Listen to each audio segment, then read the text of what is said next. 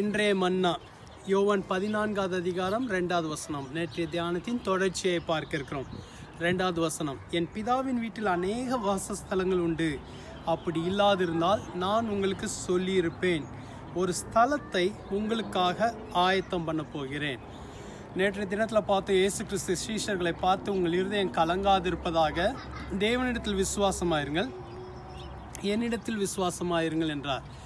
எதற்காக விசுவாசமாக இருக்க சொன்னார் என்றால் அவர் போய் இந்த ஸ்ரீஷர்களுக்காக ஒரு ஸ்தலத்தை ஆயத்தம் பண்ண போகிறேன். அதாவது ஸ்ரீஷர்களுக்காக தான் நான் போகிறேன் என்று சொன்னார். ஸ்ரீஷர்களுக்கு மாத்திரம் அல்ல நமக்காகவும் ஒரு ஒரு ஸ்தலத்தை ஆயத்தம் பண்ணுகிறார். நமக்காகவும் சில காரியங்களை நல்ல காரியங்களை அவர் ஆயத்தம் பண்ணுகிறார். ஆகவே தான் உங்கள் இருதயம் கலங்காதிருப்பதாக. அநேக நேரங்களிலே அவர் நமக்கு ஆயத்தம் பண்ணி வைத்திருக்கிற காரியங்களை நம்முடைய கண்கள் காண முடியவில்லை நம்முடைய காதுகளால் கேட்க முடியவில்லை நம்முடைய இருதயத்தில் தோன்றவில்லை. ஆனால் இயேசு சொல்லுகிறார் என்னிடத்தில் விசுவாசமாயிருங்கள். அவர் நமக்காக ஆயத்தம் பண்ணுகிறார் என்றால் நிச்சயமாகவே அதை ஆயத்தம் பண்ணுவார்.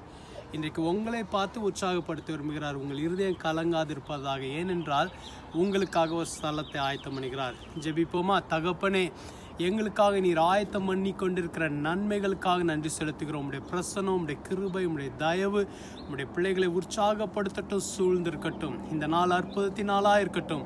அவர்களை பலப்படுத்தும் நன்மையினால் திருப்தியாக்கும் நன்மையினால் முடிசூட்டும். எல்லா கலக்கங்களும் நீங்கட்டும். அவங்களுக்காக நீங்கள் ஆயத்தம் பண்ணி கொண்டிருக்கிற நல்ல நன்மைகளுக்காக நன்றி செலுத்துகிறோம். எங்களுக்கு ஆயத்தம் பண்ணுகிற ஸ்தலத்துக்காக நன்றி செலுத்துகிறோம். பெரிய காரியங்களை செய்ய போறக்கா நன்றி. இயேசுவின் மூலம் பிதாவே. ஆமே கர்த்தர் உங்களை ஆசீர்வதிப்பாராக